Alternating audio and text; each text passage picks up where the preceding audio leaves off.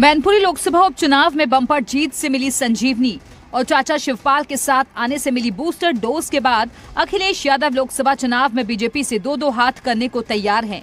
यही वजह है कि वो लगातार बीजेपी के खिलाफ आक्रामक रुख अपनाए हुए हैं और बीजेपी पर एक के बाद एक बाउंसर मार रहे हैं आज अखिलेश ने अपने तरकश से एक और सियासी तीर निकालकर बीजेपी पर चला दिया अखिलेश ने बीजेपी से जातीय जनगणना कराने की मांग करते हुए कहा कि जैसे ही उनकी सरकार बनेगी वो जातीय जनगणना कराएँगे।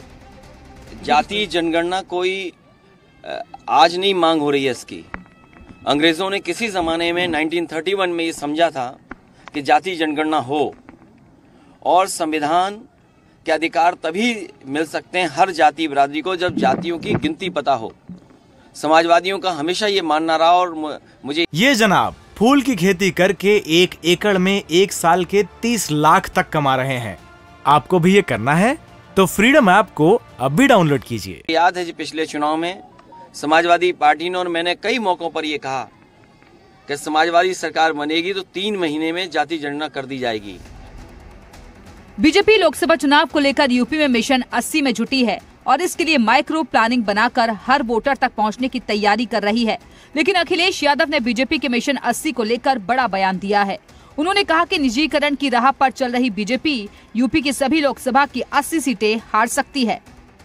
देखिए बीजेपी इस बार हो सकता है 80 सीटें हार जाए। जो ये कहती हो पार्टी कि हम वर्षों वर्षों रहेंगे, याद कीजिए, यही कहते थे ना कि 50 साल राज करेंगे। और वो लोग 400 दिन की बात कर रहे थे। और आज तो दो दिन चले गए 398 उनके राष्ट्रीय अध्यक्ष को कम से कम दो मेडिकल कॉलेज देखने जाने चाहिए जो उन्होंने खुद शिलान्यास किए हैं। अगर वो दो मेडिकल कॉलेज चले जाएँगे तो अपने आप कह देंगे कि उत्तर प्रदेश में कितनी लोकसभा जीतेंगे वो।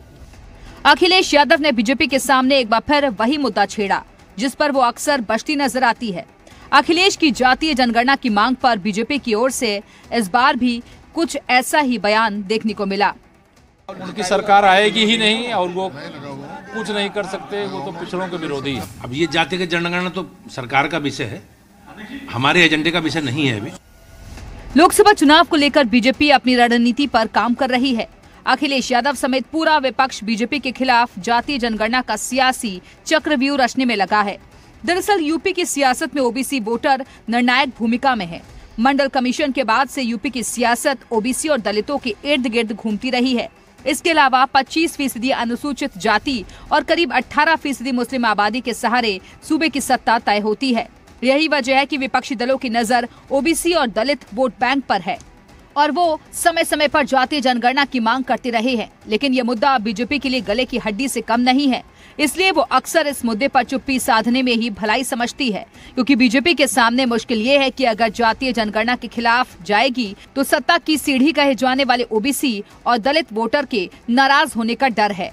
तो वहीं जातीय जनगणना के समर्थन में जाने पर उसका सवर्ण कोर वोट बैंक उससे छिटक सकता है। जातीय जनगणना को लेकर सपा के राष्ट्रीय अध्यक्ष अखिलेश यादव ने आज अपना बयान जारी किया है। पिछले कई दिनों से उत्तर प्रदेश में जातीय जनगणना को लेकर लगातार राजनीतिक बयानबाजी तेज हो चुकी है। ऐसे में माना जा रहा है कि लोकसभा चुनाव से पहले जाति जनगणना उत्तर प्रदेश का एक बड़ा ज्वलंत मुद्दा हो सकती है। विशाल रघुवंशी, जी मीडिया, लखनऊ। ये जनाब फूल की खेती करके एक एकड़ में एक साल के तीस लाख तक कमा रहे हैं। आपको भी ये करना है तो फ्रीडम ऐप को अब भी डाउनलोड कीजिए।